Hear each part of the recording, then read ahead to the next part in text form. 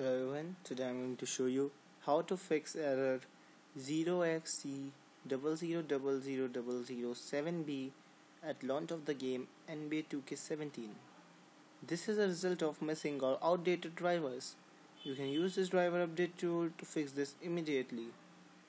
Link is in the link will be in the description of the video. It is www.uniblue.com slash driver scanner slash ds unit slash download.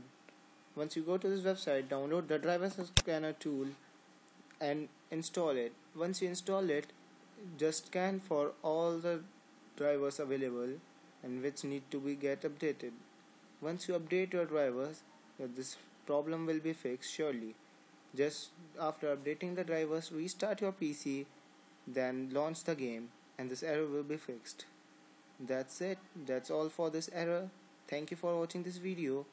If any queries please write in the comment box below.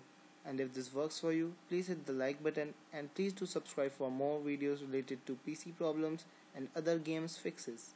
Thank you and have a nice day